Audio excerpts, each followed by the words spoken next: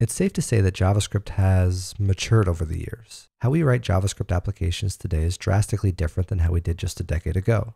Nowhere is this more prominent than when it comes to fetching data from external APIs. To truly understand how we got to where we are today, let's take a trip back to the past. Seatbelts, everyone!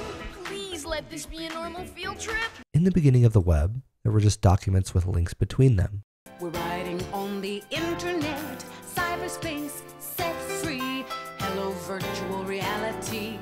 When a browser made a request to the server for a particular page, the server would find the HTML file stored on its hard disk and send it back to the browser. Not long after that, servers started pre-processing the HTML before it was sent to the client. Every time a browser would request a page, based on the user's cookies or authentication headers, the server would generate the HTML on the fly for that specific user. This allowed companies to start creating websites that allowed you to do more than just read documents. Deliveries for pets.com. But there was still something missing. Yes, pages were being dynamically created on the server, but the end result the user got was still a static experience. Not only that, but this process meant that every change in a page's content required a full page refresh. Then, in 1999, everything changed with one invention. What's that? It's my Furby. Oh, no, not that. When I think back hard, it was because we couldn't build great applications on the web technologies of the time. We could build information resources, you know, you could read things and do things and so forth, but you couldn't build web applications that were at the scale and power of the then existing desktop applications.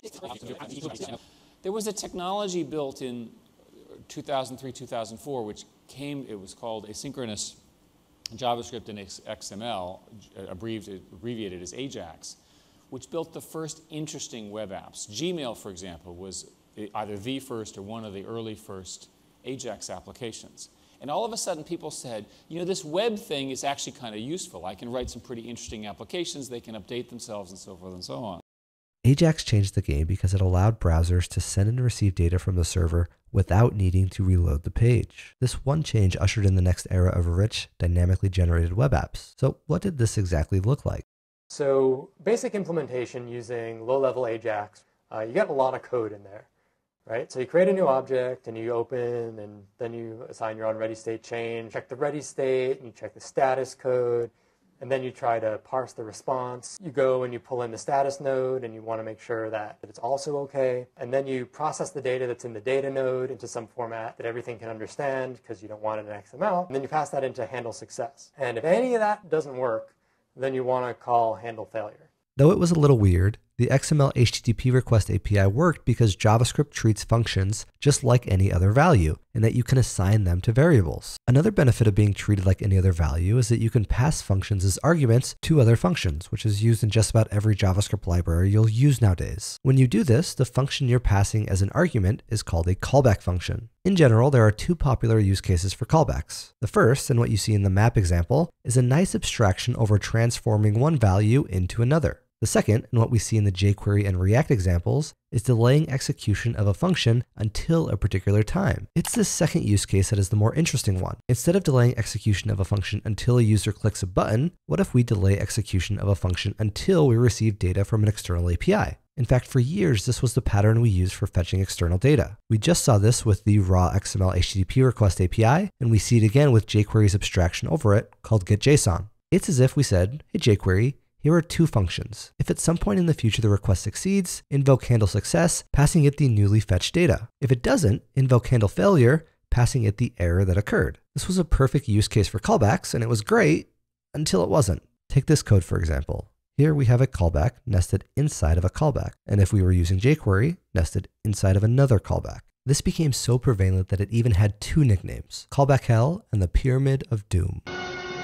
The problem is, with each layer of nesting, it becomes more difficult to understand what's going on because it forces you out of your natural way of thinking. One common approach to minimizing the effects of callback hell was to modularize your code. But is this objectively better?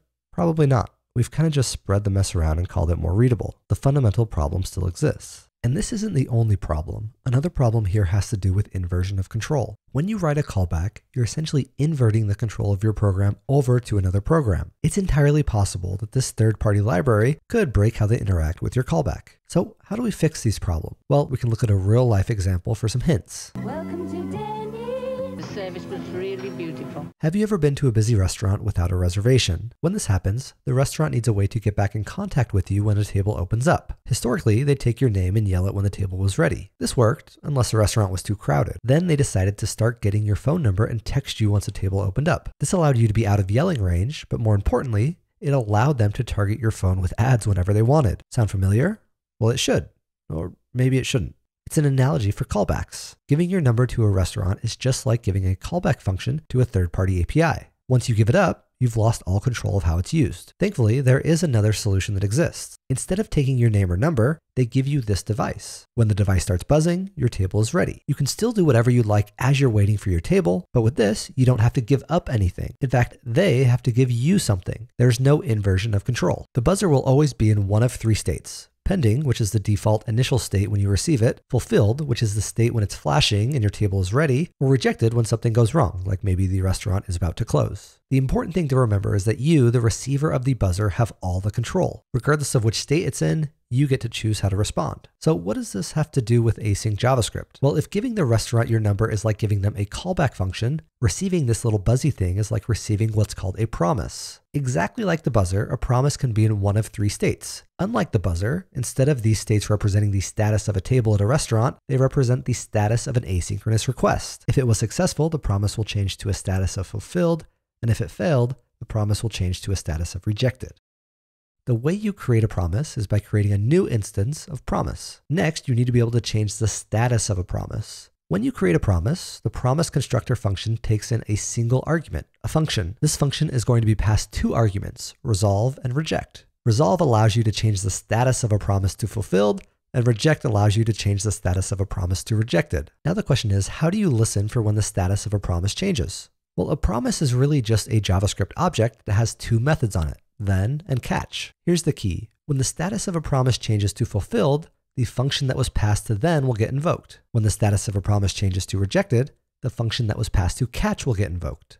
So now that you know your way around the promise API, let's do some refactoring from our code from earlier. Notice that we no longer need to pass on success and on failure arguments since we're no longer inverting control. Instead, we can use the promises resolve and reject functions. Now that getUser and getWeather return promises, we can update where we invoke those functions. Our new code is better, but there are still some improvements we can make, specifically around what's called chaining. What's cool about promises is that both then and catch will return a new promise. That seems like a small detail, but it's important because it means that promises can be chained. This solves one of the downfalls of callbacks, specifically that callbacks force you out of your natural way of thinking. However, it's not without its trade-offs either. The biggest problem with chaining has to do with getting state down the chain. In order to invoke handle success, we need both the weather and the user. Unfortunately, with how we've currently implemented it, user gets lost inside of our getWeather function. So we can either create a temporary variable in the parent scope to hold the user, or we can pass along the user from inside of our getWeather function when we resolve. Either way, this is a step in the right direction from our original callback problem. In fact, at this point, we can even get rid of jQuery's getJSON altogether by refactoring to use the native fetch API instead,